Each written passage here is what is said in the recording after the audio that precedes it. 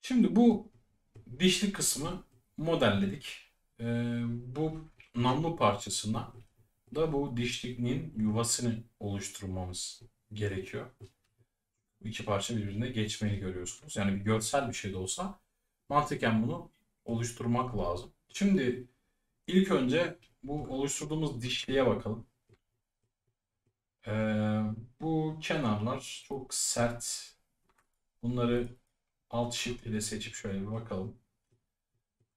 Şuradaki baştaki bu parçayla kenarla şurada birleştiği kısımdaki kenarı seçimden çıkartıp Ctrl B ile şöyle bir bevel işlemi verilebilir. Ee, buradaki sertliği almak için şu vertexleri seçip buralarda birleştirelim. Aynı şekilde burada da aynı işlemi yapmakta yarar var.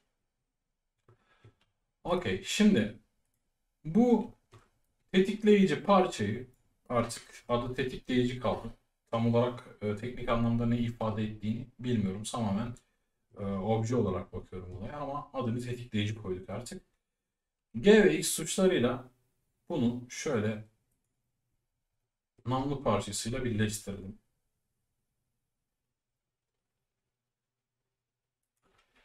Okey şimdi bu bizim namlu parçamız. Ee, bunun iç bu kısmına bu yuvayı oluşturacağız. Tabi bunun için modellemeyle uğraşamayacağız haliyle. Bir modifiyer yardımıyla buradaki yuvayı oluşturacağız. Bunu da nasıl yapacağız şimdi göreceğiz. Bu parçayı seçip bir boolean jeneratör ekliyorum. Sonra e, bu tetikleyici parçanın e, bir kopyası oluşturuyorum. Sonra bu namlu parçasına gelip bu tetikleyici parçanın kopyasının üzerine burada damlacık aracına bir kere tıklıyorum. Şimdi burayı şöyle bir seçelim. Klavyeden H'ye basıyorum. Gördüğünüz gibi burada bir yuva oluşturdu. Bazen bu e, çalışmayabiliyor. Burada o zaman bu iki seçenek arasında e, uygun olanı sizin için seçebilirsiniz. Burada solver ile ilgili farklı ayarlar da var. Seçenekler. Ee, Okey. Şimdi bunu fast olarak ben bırakmak istiyorum. Ee, bu yuvayı da bu şekilde bol modifiyerle oluşturmuş olduk. Ee, bunun e, yani buradaki modifiyeri bu şekilde apply diyerek de bunu convert diyebilirsiniz, patlatabilirsiniz ya da burada convert mesh de diyebilirsiniz. Ya da şöyle convert mesh üzerinde sağ klik işte ben bunu daha önce bir kısa olarak eklemiştim. Q tuşuna bastığımda kısa yollar çıkıyor. Mesh yaptığımda buradaki modifiyeri de convert diyor. Şimdi tab tuşuna basıp edit moda geçiyorum. Tabi burada bir bozulma söz konusu olmuş. Ee, bir geri gelelim.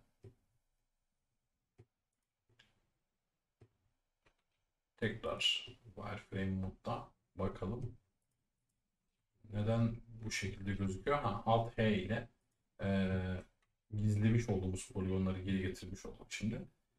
Herhangi bir sorun model üzerinde görünmüyor şu anda. E, şimdi yapacağımız şey e, artık bu bölümden sonra modelleme ile ilgili şu aşamada pek bir şey kalmadı. Artık UV Unwrap işlemini uygulayacağız. Tabi buradaki fazla bu parçaya artık ihtiyacımız yok. Bolun işleminde kullanmıştık onu. Ee, artık wireframe moddan çıkabiliriz. Şahit topunun e, bu geometrisi, ana geometrisi tamamıyla artık modellenmiş durumda. Artık detayları ekleyebiliriz sonraki adımlarda. Ama şu anki sonraki bölümdeki adım artık herkesin çok merak ettiği UV e, unwrap konusu. E, sonraki videolarda görüşürüz arkadaşlar.